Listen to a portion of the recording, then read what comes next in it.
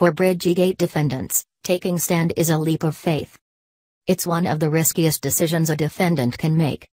Yet lawyers for two former allies of New Jersey Governor Chris Christie who are accused of conspiring to close access lanes to the George Washington Bridge in an act of political retribution have already vowed to jurors that their clients will testify.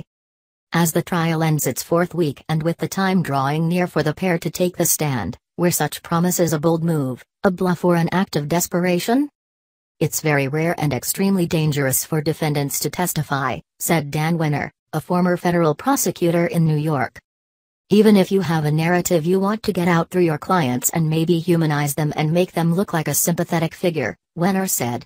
When they get cross examined, it could be devastating. Bridget Anne Kelly and Bill Baroni are accused of causing gridlock in Fort Lee by limiting local access to the bridge during five weekday mornings in September 2013 to punish the borough's Democratic mayor for refusing to endorse the Republican governor's re-election that year. Like all defendants, Kelly and Baroni have a constitutional right not to incriminate themselves. By taking the stand, they waive that protection for the duration of their testimony, including cross-examination. Jeffrey Lichtman, a New York defense attorney, said that lawyers usually decide whether their clients will take the stand months ahead of trial to give them time to prepare. Lichtman said that while each case is different, attorneys rarely begin a trial thinking that their client will testify, only changing their mind if the proceedings are going poorly. If you are putting them on the stand, you feel like it's a Hail Mary pass, he said. Defendants usually testify to fill in holes in their defense that cannot be plugged by other witnesses. They may also take the stand in an attempt to humanize the person who has sat silently through weeks of testimony. Sometimes, in a case like this, you want to show the jury, see, these are honest people not looking to hurt anybody, Lichtman said. Baroni's lawyer may feel that his client has no choice but to testify since he has already taken the stand, obliquely, at trial.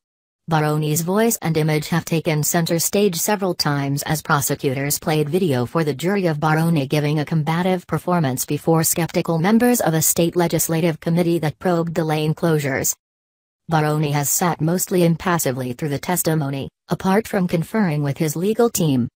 Kelly has seemed more engaged, taking notes, shaking her head when she disagreed with a witness, and wiping away a tear as one witness recounted how the press hounded Kelly's family after the scandal broke.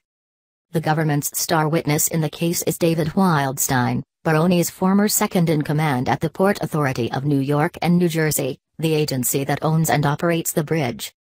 Wildstein, who last year pleaded guilty to masterminding the conspiracy and is cooperating with prosecutors in hopes of a lenient sentence, has been described as a villain and a liar, even by the prosecution's own witnesses. Lichtman said defense lawyers may want to show the contrast between their clients and Wildstein and then ask jurors, who do you believe? These kind, honest people that took the stand and testified? Or a guy like Wildstein who committed a crime, admitted it, and who is working it off solely to avoid jail time? Baroni's attorney, Michael Baldassare, told jurors during his opening statement on September 19, I guarantee you 100%, I'm saying it here in open court, Bill is going to sit in that witness box and tell you what happened. The same day, Kelly's attorney, Michael Critchley, told the jury, Bridget will get on the stand and she will explain to you exactly what was going on.